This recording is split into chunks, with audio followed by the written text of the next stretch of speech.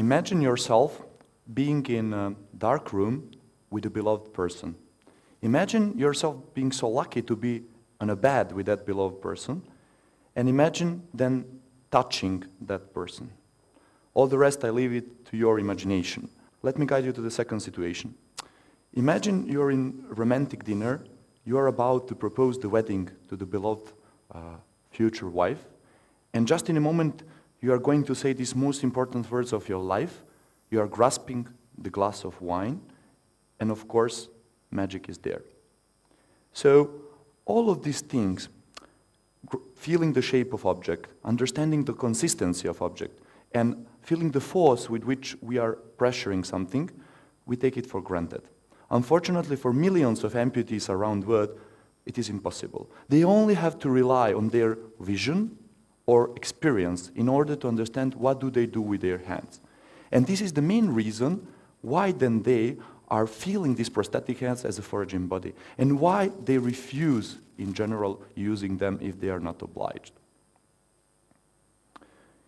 In ancient Greece, in today Sicily, Syracuse, uh, Archimedes was playing in a bathtub, uh, and while doing so, he observed that the volume of the water that was going up and down while he was playing with the parts of his body was the same in a volume as them. And in that moment, his vigorous mind understood something, which was then known as a famous physical law. He was so happy that he jumped around uh, naked, uh, running through the streets of Syracuse and shouting, Eureka.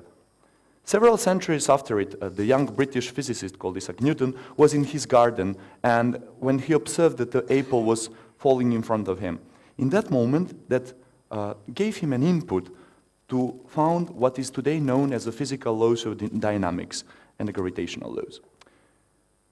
Today, the science and technology are not anymore like this.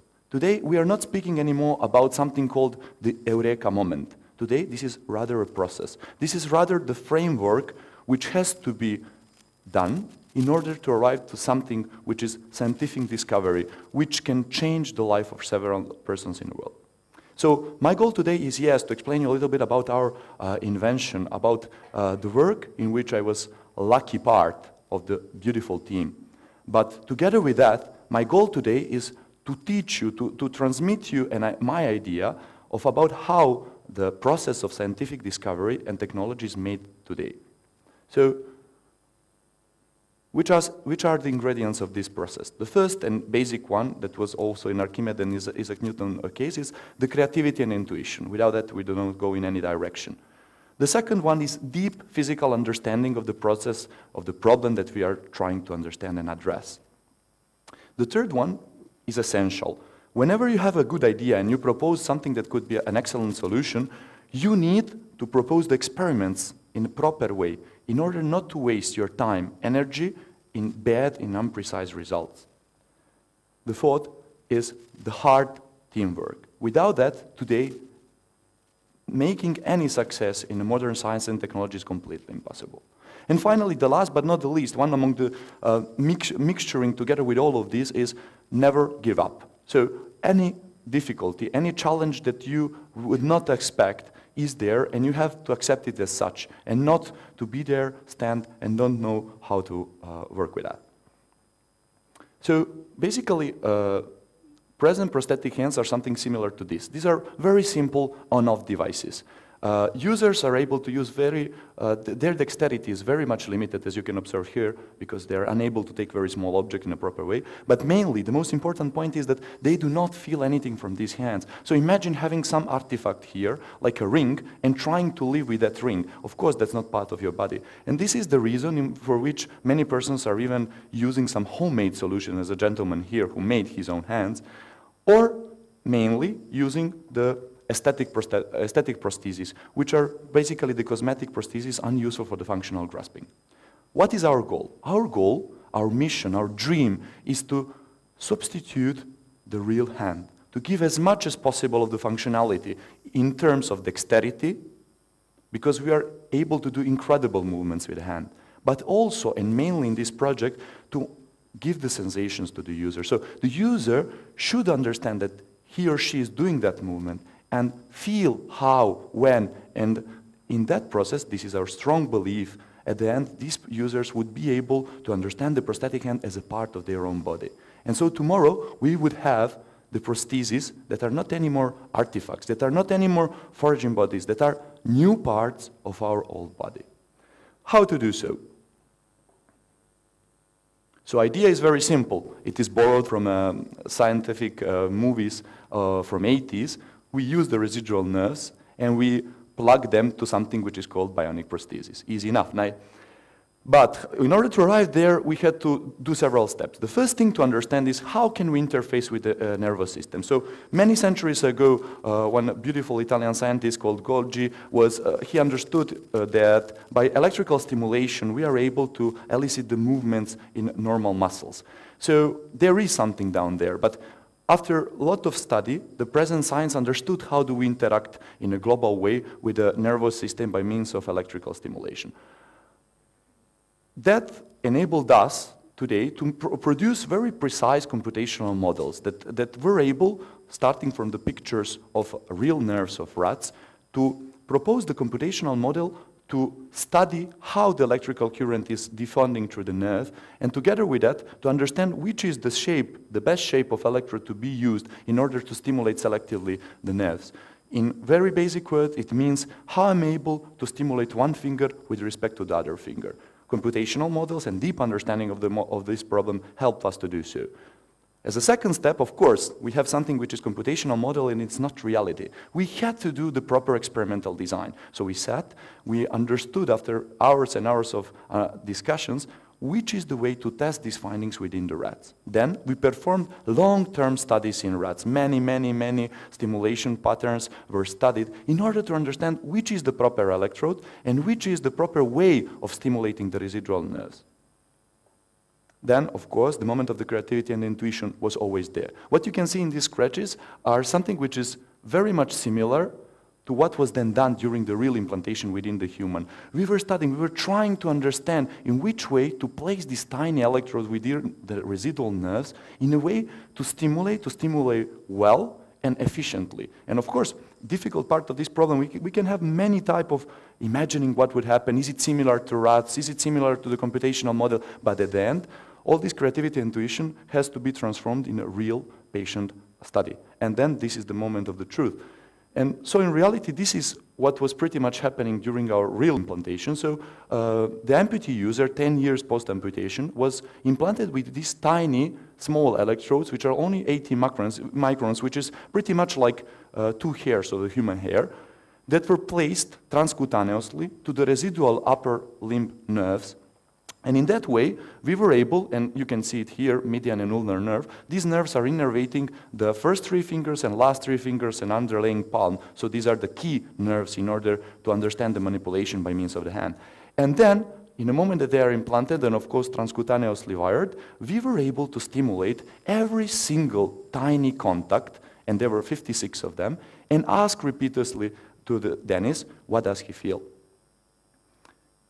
What does it mean? So whenever I was stimulating with active site number 5, he would refer that feels a sensation within two first fingers. Whenever I was stimulating with active site number 16, he would refer the sensation of touch in a palm, etc. In that way, we were able to construct the map of his missing hand. So whenever I was switching on the active site number 5, he would say, yes, I feel first two fingers. Whenever I was stimulating through the active site number 17, he would say, yes, I feel the small finger. And then the science is there. Now is the moment for the technology. What did we do? We implemented this finding within a bidirectional prosthetic framework, where the user was using his residual muscles, which were here in these holes, in order to voluntarily control the prosthesis. So whenever he would uh, like to make this, this, or that movement, we were able to transform that to the movement of a prosthetic device. But what was key of this finding was whenever the device was moving, we were able to read out these sensors and to stimulate in a proper way the residual nerves. So basically, whenever he was trying to make the pinch grasp, he would get the stimulation through the median nerve electrodes and feel that he's doing a pinch. Whenever he was trying to do the ulnar grasp, he would feel the stimulation through the ulnar nerve and understand how much does he close the hand in ulnar way. And finally, whenever he was trying to make a power grasp, we were stimulating the both nerves, and he would feel the full hand sensation. And that last thing is magic, because a priori nobody would know that this would feel. Because we think it's normal, but eventually it could happen that we stimulate the median nerve, and he feels only that with respect on the ulnar, but they were functioning together well. And so, more in detail, how does it work? In dynamic representation, he's touching the objects, we are reading out the artificial sensors from the hand, we are feeding this information to our computer program, and finally that computer program is triggering the neural stimulation of residual nerves. And the user is feeling completely naturally, effortless, in a proper way, the physiologically plausible touch. That's the, that's the goal of this project. He was not supposed to think about anything rest. He was really feeling the missing fingers. Of course, when this was done, everything, all the rest of the story was a piece of the cake for us. So we enabled him to do several different tasks. In this task, he's exploring the space in front of him. He understands what does he has in hand, he announces it. This is a, a, type of Italian beer. And then he would do the appropriate grasp. In a case of a cylindric object, he would take it to his mouth. In the case of the median object, he would understand that he has something within first two fingers and he would announce it. And the same for the ulnar object.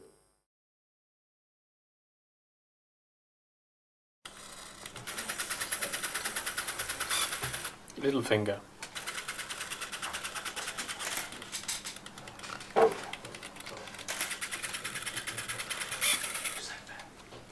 During all experiments, he was blindfolded and acoustically insulated. In that way, we were sure that he's not relying on his sight, on his gaze, in order to understand what is he doing.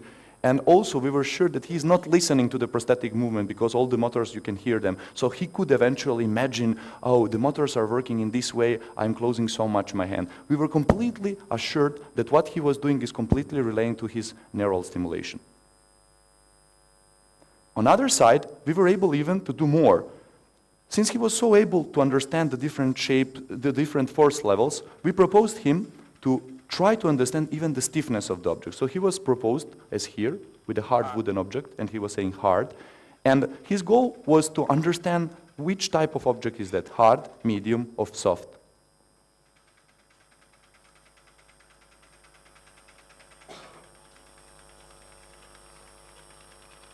Medium. That was a medium plastic object.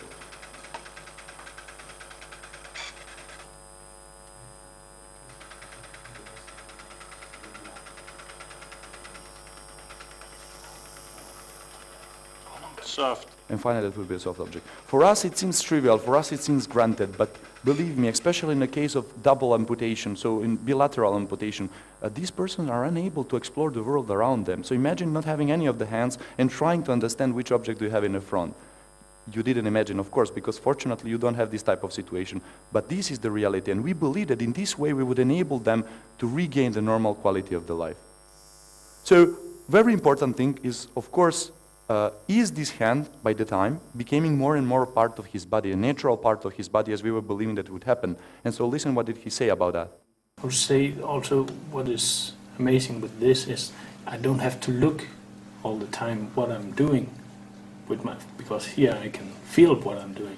So that's, of course, the biggest difference. And um, when, if you have this for, let's say, a year or something, then you uh, adapt and trust in it so so you can yeah do things in the dark which have uh, I have been doing here but then uh, it will be a, a piece of me I'm sure. The keyword it would be a piece of me. And remember for the example of the darkness in the starting of this story. He said that he said that he would be feeling confident in doing the stuff in the darkness and of course, not everything what was done was so beautiful and perfect. During experiments, we had many problems, but solving these unexpected problems was essential in order to achieve such a result. And the main goal was to make from them the challenge and not an obstacle. So we were continuously repairing whatever was not going well.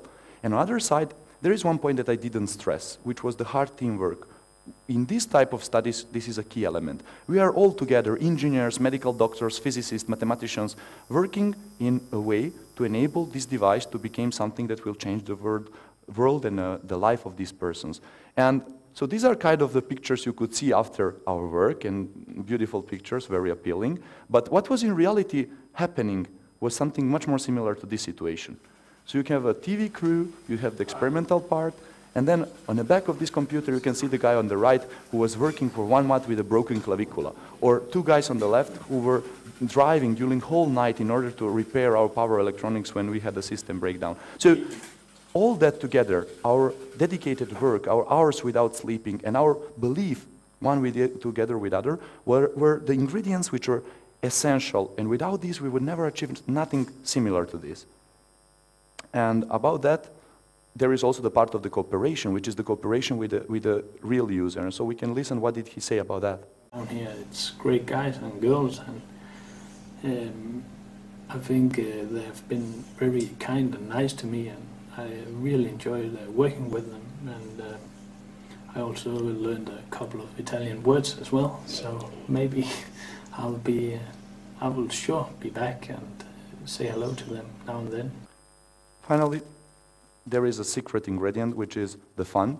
Together with appropriating the, his own hand, he appropriated many Italian beers. We had a beautiful time with this beautiful guy. And without this fun and tight cooperation between all of us, between the guy who broke in the clavicula, me, I didn't sleep for months, nothing of this would happen.